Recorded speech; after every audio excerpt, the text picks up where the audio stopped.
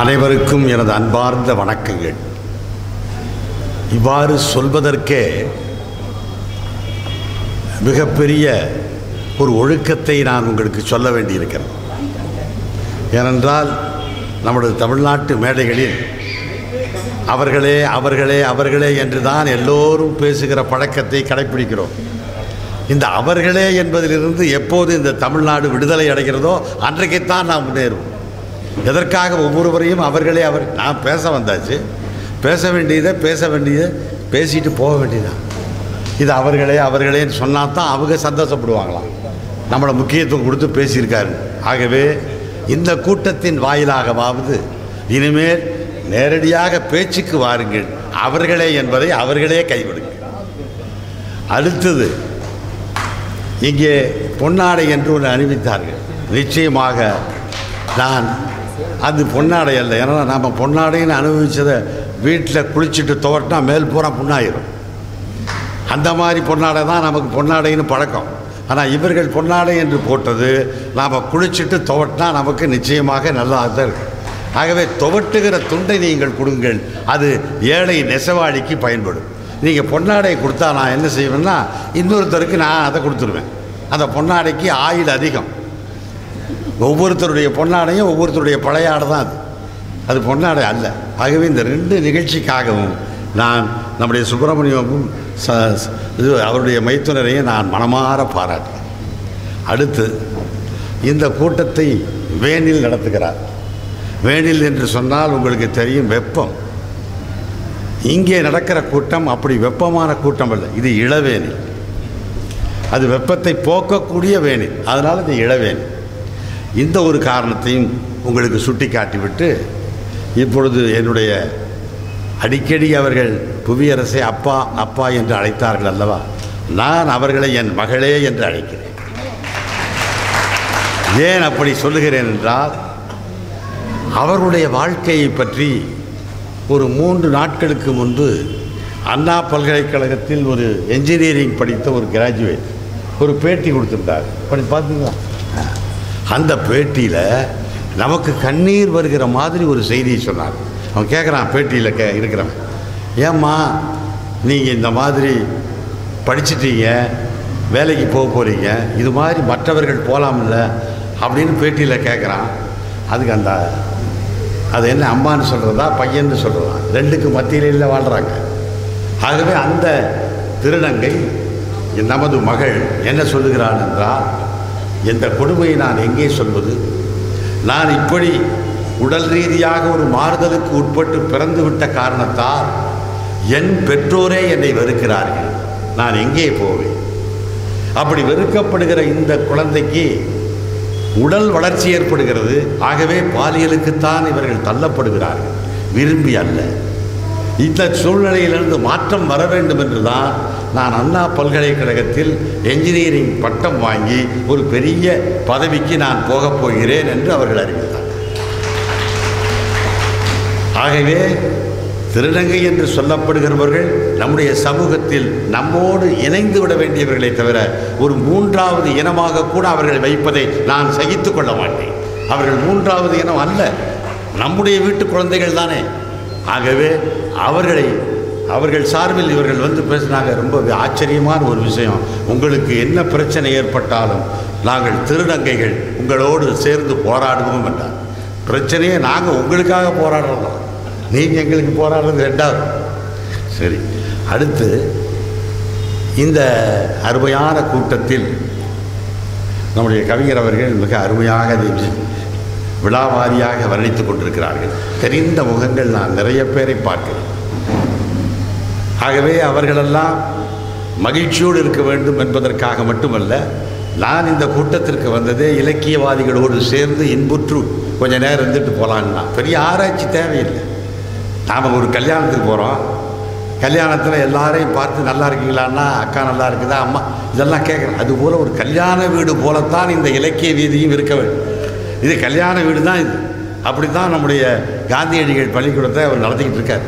அந்த வகையில் இன்றைக்கு ஒரு அருமையான நூல். இது அருமையான நூல்னு சொல்கிறதுக்கு காரணம் அதே போல் இது அருமையில்லாத நூல் என்றும் சொல்வதற்கு என்னால் முடியும். ஆனால் அருமையான நூல் என்று மட்டும் நான் சொல்வதற்கு காரணம் இந்த நூல் தமிழ் இலக்கிய வரலாற்றில் இதுவரை யாரும் செய்யாத ஒரு புது முயற்சியை புவியரசு அவர்கள் செய்திருக்கிறார்கள். புது முயற்சி. இப்போ சுஜாதா என்று சொல்லக்கூடிய ஒரு என்ஜினியர் உங்களுக்கு தெரியும். அவர் என்ஜினியராக இருந்து எழுத்தாளரானவர் சுஜாதாங்கிறது அவருடைய மனைவியுடைய பெயர் அவர் பெயர் அல்ல அந்த பெயரில் நிறைய விஞ்ஞான கதைகளை நிறைய எழுதினார். அது தமிழுக்கு கிடைத்திருக்கிற ஒரு குடை அது வரைக்கும் விஞ்ஞான கதைகள் கிடையாது. இப்போ அதுக்கு பிறகு இப்போ அம் நாற்பது முப்பது வருஷத்துக்கு பிறகு ஒரு விஞ்ஞானத்தை கை கொண்டு ஒரு நாவல் எழுத முடியும் என்று தன்னுடைய கடைசி பகுதி காலத்தில் நம்முடைய புவியரசு அவர்கள் இந்த முயற்சியில் ஈடுபட்டிருப்பது நாம் செய்திருக்கிற மிகப்பெரிய தவமாகும். அப்படி தான் நான் சொல்லுவேன் மிகப்பெரிய அப்பேற்பட்ட அளவில் இந்த புத்தகத்தை சிறப்பாக எழுதியிருக்கிறார். இந்த புத்தகத்தை படித்த பிறகு என்னுடைய சக உதவியாளர்களோடு சேர்ந்தும் படித்தேன். படித்த பிறகு இப்போ எனக்கு ஒரு எண்ணம் தோன்றுச்சு. என்ன தோன்றுச்சு? அதை தான் இப்போ நான் சொல்ல சொல்லிட்டு முடிச்சேன் புராணத்தை நாம் நம்புவதில்லை. புராணத்தை எதிர்த்து கடந்த ஐம்பது அறுபது வருடங்களாக நம்முடைய தமிழ்நாட்டில் பகுத்தறிவு இயக்கம். புராணத்தை எதிர்த்தே ஒரு இயக்கம் வந்தது. புராணத்தை ஒழிக்கணும் புராணத்தில் இருப்பதெல்லாம் போய் என்று சொல்லி ஒரு பெரிய இயக்கம் அதன் மூலமாக அது ஒரு ஆரிய இனத்தினுடைய ஒரு உத்தி என்று ஒரு பெரிய பிரச்சாரம் நடந்தது நமக்கெல்லாம் தெரியும். இப்போ புராணத்தை நாம் நம்புறதை கைவிட்டோம். நமக்கே பல கதைகள் புராண கதைகள் இந்த தலைமுறையில் இருக்கக்கூடியவர்களுக்கு பல பேருக்கு தெரியாது. இப்போ நான் ஒரு உதாரணத்துக்கு ஒரு கதை சொல்கிறேன் என்ன கதைன்னா கொக்கனவா நினைத்தாய் கொக்கனவான்னு நீங்கள் ஒரு வரியை கேள்விப்பட்டிருப்பீங்க. கொக்கனவா நினைத்தாய் கொக்கனவா அதனுடைய வரலாறு என்ன? நீங்கள் அதை படித்தா தான் தெரியும். ஆனால் இப்போ ஏற்பட்ட விஷயமா? அதாவது ஒரு பெரிய தவம் பண்ணிக்கிட்டு இருக்கான் ஒரு காட்டில். ரொம்ப நாள் தவம் பண்ணுறான் தனக்கு தவ வலிமை வர வேண்டும் என்று தவம் பண்ணி ஒரு ஒரு வருஷம் ரெண்டு வருஷம் அஞ்சு வருஷம் இப்படி பண்ணி அவனுக்கான தவ வலிமை வந்துருச்சுன்னு அவன் நினைக்கிறான். அதை செக் பண்ணணும்ல நமக்கு தவ வலிமை வந்துருச்சா இல்லையான்னு அந்த தவம் செய்தவன் செக் பண்ணுறதுக்காக நினைக்கிறான். எப்படி செக் பண்ணுறதுன்னு தெரியல. அந்த நேரத்தில் அவன் உட்கார்ந்திருந்த மரத்துக்கு மேலே ஏதோ ஒரு பறவை ஒரு எச்சம் பண்ணிவிட்டு சடார்னு அங்கேருந்து கழிவை கீழே தள்ளிடு இவன் மேலே வந்து படும் பட்ட உடனே இவன் இந்த தவசி ஞானி இருக்காரே இவருக்கு கோபம் வந்துடும். உடனே அந்த பறவையை பார்த்து என் மீதா நீ எச்சம் பண்ணினா என்று உற்று பார்க்கிறான். ஒரு நொடிக்கு உள்ளாக அந்த பறவை பஸ்பமாகிவிடுகிறது இது முதல் சம்பவம். ஓ நமக்கு தவம் வந்துவிட்டது நம்முடைய தவ வலிமை வந்துவிட்டது அப்போ நமக்கு ஒரு பெரிய சக்தி இருக்குதுன்னு ஒரு திமிரோட அந்த தவத்தை முடித்து விட்டு ஊருக்குள்ளே வரும்போது பசி இருக்குது நல்ல பசி. ஒரு வீட்டில் ஒரு அம்மா உள்ளே நுழையிறத பார்க்குறான். வேக வேகமாக போய் அம்மா எனக்கு சாப்பாடு இருந்தால் கொஞ்சம் கொடுங்க. ரொம்ப பசியாக இருக்குதுங்கிறான். திண்ணையில் உட்காருங்க. அப்படின்னு திண்ணையில் உட்கார சொல்லிட்டு உள்ளே போகிறா அந்த அம்மாவுக்கு பிறகு அந்த அம்மாவுடைய புருஷன் வந்துடுறான். உள்ளே போனவன் அந்த புருஷனுக்கு செய்ய வேண்டிய பணிபணிகளை எல்லாம் செய்து சாப்பாடெல்லாம் போட்டு அவனுக்கு செய்ய வேண்டியதெல்லாம் முடிச்சுட்டு கொஞ்சம் நேரம் கழித்து திண்ணையில் ஒருத்தனை உட்கார வச்சவன்ட்டு வர்றான். அந்த அம்மா வருது. திண்ணையில் இருக்கிறவன் ரொம்ப கடும் கோவத்தில் இருக்கான். ஏடா உட்கார சொல்லிட்டு போனான் இவ்வளவு நேரம் ஆகி நான் சாப்பாடு கொடுக்கல. என் பசி என்ன ஆகிறது? அப்படின்னு சொல்லி. அப்போ என்ன செய்கிறான் அந்த திண்ணையில் உட்காந்துட்டு இந்த அம்மா தாமதமாக வந்ததுனால கோபப்பட்டு அந்த அம்மாவை உற்று பார்க்குறான். உற்று பார்க்கிற பொழுது அந்த அம்மா என்ன சொல்கிறான் கொக்கணவா நினைத்தாய் கொக்கணவாங்க அப்போ தான் சொல்கிறான் என்ன சொல்கிறீங்க அந்த பறவைன்னு நினச்சிட்டியா நீ என்னைய? அதை பார்த்தோன்னே அது எரிஞ்சு போச்சு இல்லை நீ அதுபோல் என்னை பார்க்குறியான்னு சொன்னோன்னா இவனுக்கு என்னடா அந்த பறவை எரிச்சது காட்டில்? இந்த பொம்பளைக்கு எப்படி தெரியும்? மொபைல் இல்லாத காலம். அந்த காலத்தில் மொபைல் இது அந்த பறவையை எரிச்சது செய்தி இந்த பொம்பளைக்கு எப்படி தெரிஞ்சது? ஆச்சரியப்பட்டு நடுங்கிடுறான். அம்மா எப்படி இது தெரிஞ்சது?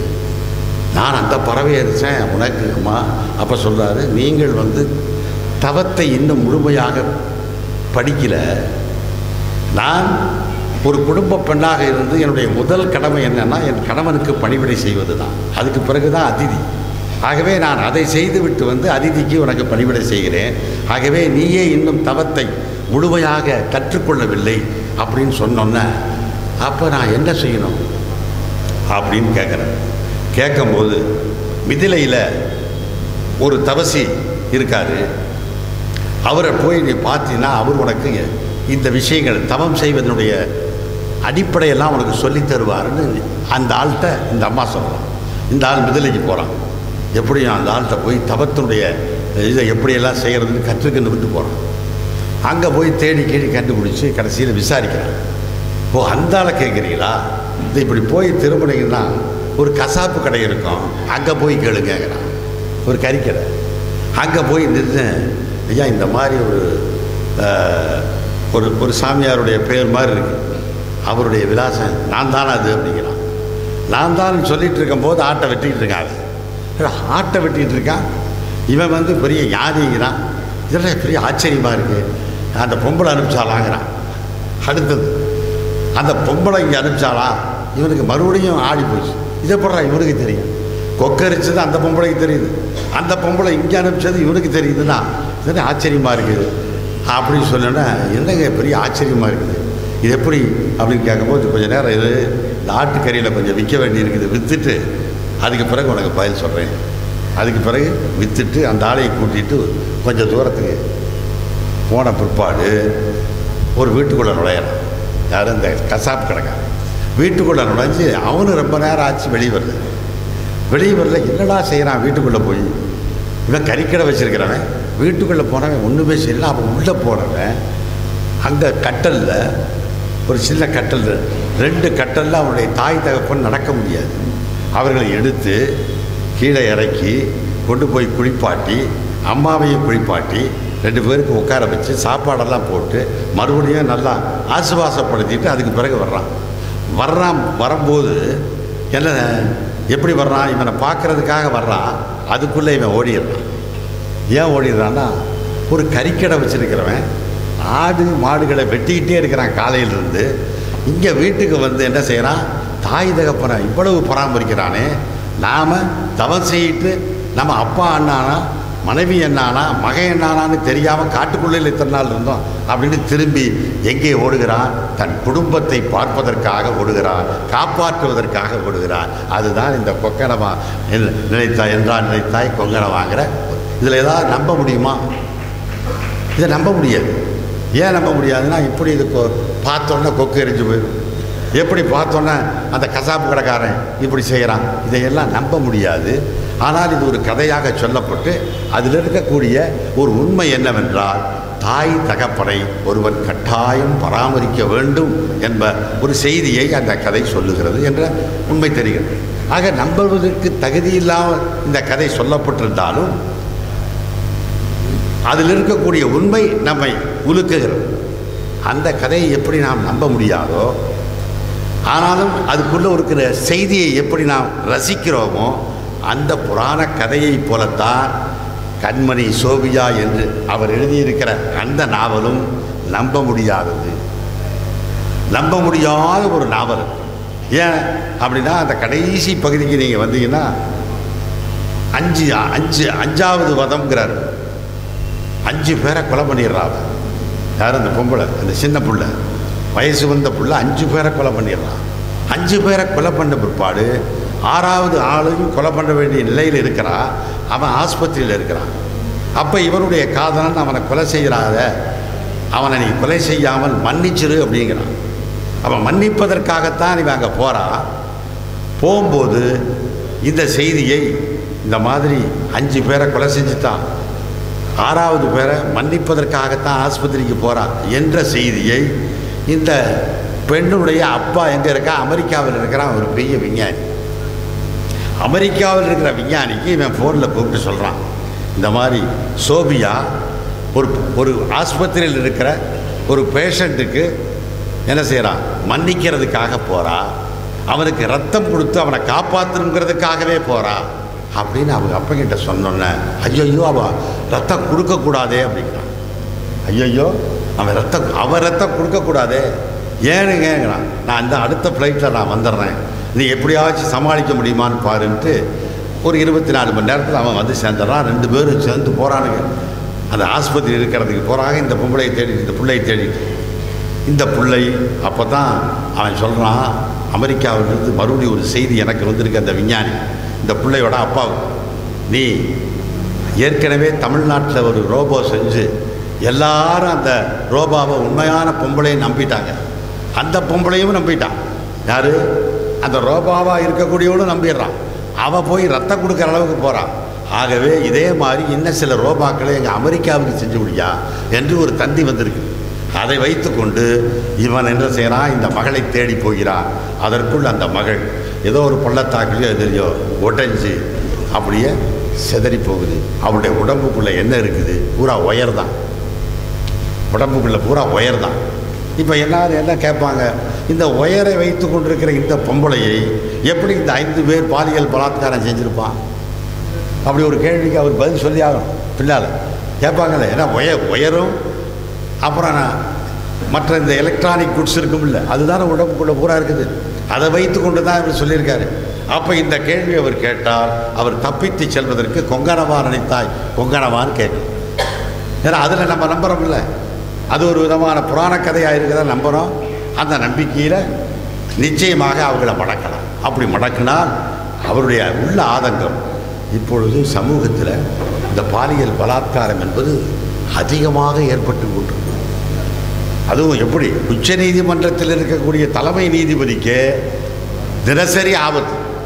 உச்ச நீதிமன்றத்தில் இருக்கிற தலைமை நீதிபதியே தன்னிடத்தில் வேலை பார்க்குற ஒரு பொ- ஒரு பெண்ணை இதற்கான முயற்சியில் ஈடுபட்டார்னு அந்த அம்மா இருபத்தி நாலு நீதிபதிகளுக்கு செய்தி கொடுத்துட்டான்.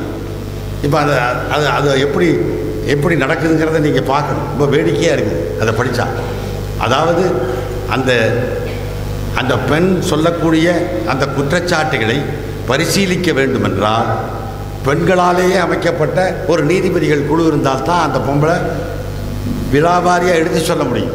ஒரு ஆம்பளைகிட்ட போய் எப்படி சொல்ல முடியும் அப்படிப்பட்ட ஒரு சட்டமெல்லாம் இருக்கும்போது கூட இன்னைக்கு அந்த கேஸை எப்படி டீல் பண்ணுறதுன்னு தெரியாமல் ஓப்பன் கோர்ட்டில் நாங்கள் விசாரிக்க மாட்டோம்.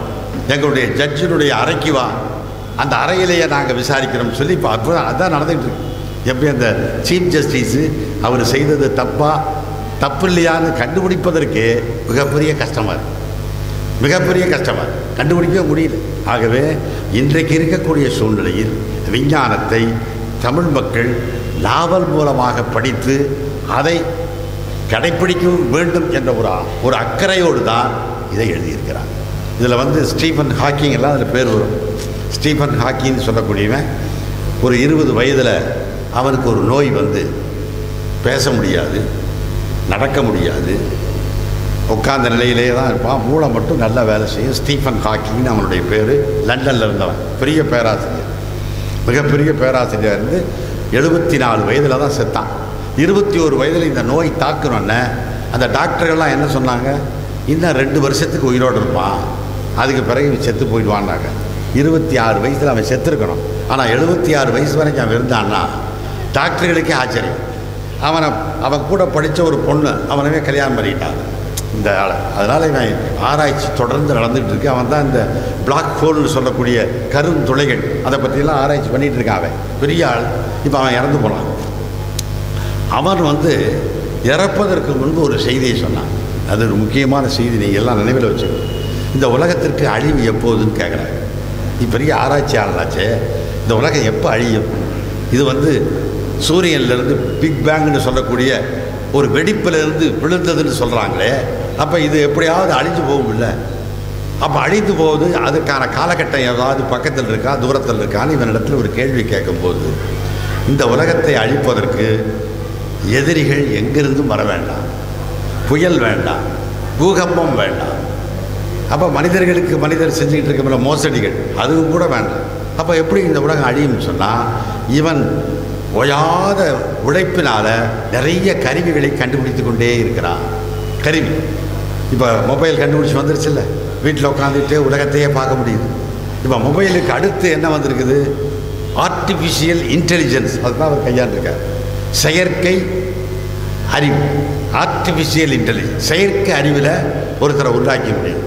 இந்த குளோனின்னு சொல்லக்கூடிய ஒன்று சொல்கிறாங்கல்ல ஒரு பசுமாட்டிலிருந்து ஒரு பயாப்சி மாதிரி ஒரு ஒரு ரத்த துளி. ரத்த துளி எடுத்து அதை ஒரு டெஸ்ட் டேப்புக்குள்ளே வளர்த்துனா அது ஒரு சிசுவாகி பிறகு பசுவாகி. அப்போ அந்த பசுவுக்கு என்ன வயசுனா இந்த பசுவினுடைய வயசு குழந்தையிலேயே அந்த வயசு வந்துடும் இப்படி கான்ட்ரவர்சி நடந்துட்டு அந்த வகையில் இந்த ஆர்டிஃபிஷியல் இன்டெலிஜென்ஸ் என்று சொல்லக்கூடிய ஒரு புதிய விஞ்ஞான கருத்தை தன்னுடைய எழுத்தின் மூலமாக நாவல் மூலமாக புவியரசு அவர்கள் மிக சுவாரஸ்யமாக முக்கால்வாசி வரைக்கும் கொண்டு வந்துட்டார். அப்புறம் அதுக்கு பிறகு கொண்டு போக முடியாதுல்ல. அவருக்கு முடிவு பண்ணுமே அவர் வேனில் எவ்வளவு பக்கம் தான் ஒதுக்குவார். அதனால் அதுக்கு பிறகு கடைசியில் அதை உடைச்சிரியான்ட்ட ஐயோ இது சோஃபியா. சோஃபியாங்கிறவ பொம்பளை அல்ல இளமங்கை அல்ல அதே மாதிரி திருநங்கை கூட அல்ல. இந்த சோஃபியா என்பது ஒரு விஞ்ஞான பொம்பளை. விஞ்ஞானத்தில் உருவாக்கப்பட்ட பொம்மை. இது பேசுது ஆடுது காதலிக்குது விவாதிக்குது எல்லாம் செய்யுது. காரணம் இந்த ஆர்டிஃபிஷியல் இன்டெலிஜென்ஸ்னு சொல்லி ஒன்றை இந்த உலகத்தில் உண்டாக்கிட்டோம்னா தன்னைத்தானே அது பெருக்கிக்கிட்டே இருக்கும். தன்னைத்தானே மேலும் மேலும் தன்னை விருத்தி அடைத்துக்கிட்டு வந்து உண்மையான மனிதனுக்கு விட அதிகமான அறிவாளியாக இருக்கும். அது பெர்னாட் சாப்பிட கூட இப்படி ஒரு கதை எழுதியிருக்கேன். அந்த கதையில் அந்த விஞ்ஞானிகள்லாம் சேர்ந்து ஒரு எந்திர மனிதன் ரோபா மாதிரி எந்திர மனிதனை உண்டாக்கிட்டான் உண்டாக்கி மேடையில் கொண்டு வந்து வச்சுட்டார். அந்த எந்திர மனிதன்கிட்ட நீங்கள் எந்த கேள்வி வேணாலும் கேட்கலாம் உங்களுக்கு பதில் சொல்லும். அப்படியா? கூடியிருந்த மக்கள் உன் பெயர் என்ன? உன் பெயர் பேர் என்ன? உன் ஜாதி என்ன? உன் மதம் என்ன? நீ கொலை செஞ்சிருக்கியா? எந்த கேள்வி கேட்டாலும் பதில் சொல்லு. அப்போ அது அதுக்கு மேலே அந்த கூட்டத்தில் கேள்வி கேட்குறதுக்கே கேள்வி இல்லை. அப்போ அவர் விஞ்ஞானிகள்லாம் சேர்ந்து இப்போ நீங்கள் கேட்ட கேள்விகளுக்கெல்லாம் இந்த எந்திர மனிதன் பதில் சொல்லிட்டான். அப்போ இன்னையிலிருந்து இந்த எந்திர மனிதன் நம்மில் ஒருவர் என்று அறிவிக்கலாமா? அதான் கேள்வி. நாம் நூறு பேர் இருக்கோம்னா நூற்றி ஒன்று அப்படின்னு சொல்லிடலாமா? அப்படின்னு சொல்லும்போது சொல்வதற்கான நியாயமெல்லாம் இருக்கேன் அப்போ ஒரு ஆள் எந்திரிக்கலாம் இன்னும் ஒரு கேள்வி இருக்குதுங்க. வா கேளுவா அந்த எந்திரத்துக்கிட்ட வர்றான். எல்லாத்துக்கும் பதில் சொன்ன ஒரே ஒரு கேள்வி. உனக்கு பொய் சொல்ல தெரியுமான்னு கேட்குறேன் தெரியாது. நீ மனிதனே அல்ல. உனக்கு பொய் சொல்ல தெரியுமான்னு சொன்னோன்னே அது எப்படி நான் சொல்ல முடியும்? எனக்கு என்னென்னலாம் கொடுத்தாங்களோ அதைத்தான் சொல்லுவேன். பொய் சொல்ல தெரியலையே எனக்கு. தெரியாது. பொய் நான் என்ன? அப்போ நீ மனிதன் அல்லப்பா. போப்பா. அப்போ பெர்னாட்ஸா மனிதர்கள் எப்படி பொய் சொல்லுகிறார்கள் என்பதை தன்னுடைய விஞ்ஞான கருத்தை ஒரு நாடகமாக பாணியில் எழுதியிருக்கார். இப்போ பெர்னாட்ஸாவுக்கு பிறகு இந்த ஆர்டிஃபிஷியல் இன்டெலிஜென்ஸ் என்று தமிழ்நாட்டில் ஒரு பெர்னாட்ஸாவை போல எழுதியிருக்கிறார் நம்முடைய பொருள் புவியரசு அப்படி தான் நான் பார்க்குறேன் ஏன்னா அந்த மாதிரி ஆர்டிஃபிஷியல் இன்டெலிஜென்ஸுங்கிறத நீங்கள் ஞாபகம் வச்சுக்கணும். நம்ம குழந்தைகள்கிட்ட போய் சொல்லணும். ஆர்டிஃபிஷியல் இன்டெலிஜென்ஸ் தான் தெரியுமாப்பா? அப்படின்னு கே சொன்னா தான் என்னன்னு கேட்பான். அப்போ ஆர்டிஃபிஷியல்னால் தெரியும் உங்களுக்கு செயற்கையானது. இன்டெலிஜென்ஸ்னாலும் தெரியும். எது? அறிவு. இப்போ செயற்கையான அறிவில் ஒன்றை உண்டாக்க முடியும். அப்படின்னா அது ஒரு பெரிய விஞ்ஞான கருத்தாக இருக்குது. அதை தான் அவர்கள் செஞ்சுருக்காங்க. அருமையான ஒரு உத்தி இதை வரவேற்கணும் இந்த கேள்விகள் வரும். எது? உயராக இருக்கக்கூடிய ஒரு இந்த பொம்பளை உடம்புக்குள்ள எப்படியா ஒருத்தன் பாலியல் பலாத்காரம் பண்ண முடியும்? ஏன்னா பாலியல் பலாத்காரம் பண்ணுறதுக்கு அந்த உயரவா தூக்கிட்டு போக முடியும். அது எப்படி நட சாத்தியம்? அப்படிங்கிற கேள்வி கேட்டால் கொக்கரமா நினைத்தா கொக்கரமான்னு கேட்க வேண்டியதான் ஏன்னா அது மாதிரி புராண கதை நம்மக்கிட்ட நிறைய இருக்குது நிறைய கதை வச்சுருக்கோம். நிறைய நிறைய கதை. மார்க்கண்டேயன் கதையை பார்த்தீங்கன்னா தெரியும் உங்களுக்கு. மார்க்கண்டேயன்ட்ட சொல்கிறாங்கல்ல மார்க்கண்டேயன் சொல்லக்கூடிய அவனுடைய கதையை பார்த்தா அது அப்பா அம்மாவுக்கு குழந்தை ரொம்ப நாளாக குழந்தை இல்லை. தவம் பண்ணுறாங்க சிவபெருமானும் பார்வதியும் வர்றாங்க. உங்களுக்கு என்ன வேணும்னு கேட்குறாங்க எங்களுக்கு குழந்தை இல்லை குழந்த பாக்கியம் வேணுங்கிறான் குழந்த பாக்கியம் வேணும்னு சொன்ன உடனே பதினாறு வயசுள்ள அறிவாளி குழந்தை வேணுமா? அறுபது வயசு வரை வாழக்கூடிய முட்டாள் குழந்தை வேணுமான்னு கேட்குறேன் அப்போ இவன் என்ன செய்யறான்? எங்களுக்கு அறிவாளி குழந்தைய கொடுங்கன்னா பதினாறு வயசில் அந்த மார்க்கெண்டையனை கொடுக்குறாங்க. அந்த கதை உங்களுக்கு தெரியும். அப்போ அவன் மேலே எவன் அந்த பாசக்கயிறை வீசணுன்னா அவன் போய் சிவபெருமான் பிடிச்சிக்கிறான்ல. சிவபெருமான் என்னடா என்னுடைய என்னுடைய பக்தனை நீ பாசக்கயிறு வீசி இழுக்கிறியா நீ? அப்படின்னு சொல்லி எவனையே எட்டி உதைத்தார் சிவபெருமான்னு கதை இப்போ இதை நம்ப முடியாது. ஆனால் மரணத்தை வெல்லக்கூடிய அளவுக்கு ஒரு உத்தி அதில் கையாளப்பட்டிருக்கிறது. எவனை எதிர்த்து ஒரு மனிதன் போராடி முடியும் என்று காட்ட காட்டப்பட்டது அப்போ அதுபோல தான் புராணக்கதைக்குள்ள அவர் புகுந்து கொண்டு இந்த சோபியாவை அவர் காப்பாற்றலாம் புராணக்கதைக்குள்ளே புகுந்துக்கிட்டு சோபியாவை காப்பாற்றலாம் கண்மணி அல்லவா அவர் காப்பாற்றத்தானே ஆகணும். அவருடைய கண்மன் என்று கூறி அவருக்கு என்னுடைய உண்மையான அன்பையும் அன்பை மட்டுமல்ல என்னுடைய மரியாதையும் அவருடைய துணைவியார் வந்திருக்காங்க. தன்னுடைய கணவர் இப்போதும் எழுதி கொண்டிருக்கிறார் என்று பார்த்து வியந்து வியந்து உட்கார்ந்திருக்கிறார். எண்பத்தெட்டு வயதில் கூட அவர் எழுதுகிறார் நடமாடுகிறார் சிரிக்கிறார். அதான பெரிய விஷயம். எண்பத்தெட்டு வயசில் சிரித்தா பல பேர் சந்தேகப்படுவான் ஓ என்னையா இந்த ஆள் சிரிக்கிறாரு இவர் சிரிக்கிறார் பேசுகிறார் ஆர் எல்லா பக்கம் போகிறார் அதனால் அதான் ஒரு புராண கதை இன்னொன்று கூட சொல்லி முடிச்சிடுறேன். அதாவது இந்த ப- பிரம்மசூத்திரம்னு சொல்லி ஒரு ஒரு இது இப்போ கேள்விப்பட்டிருக்கீங்களே? அந்த பிரம்மசூத்திரத்துக்கான உரையை இப்படி தான் எழுதுனாங்க ஆகவே அது கூட சொன்னால் நேராயிரும். என்னுடைய உரையை இத்தோடு நிறைவு செய்து என்னுடைய வாழ்த்துக்களை அவருக்கு தெரிவித்துக் கொள்கிறேன்.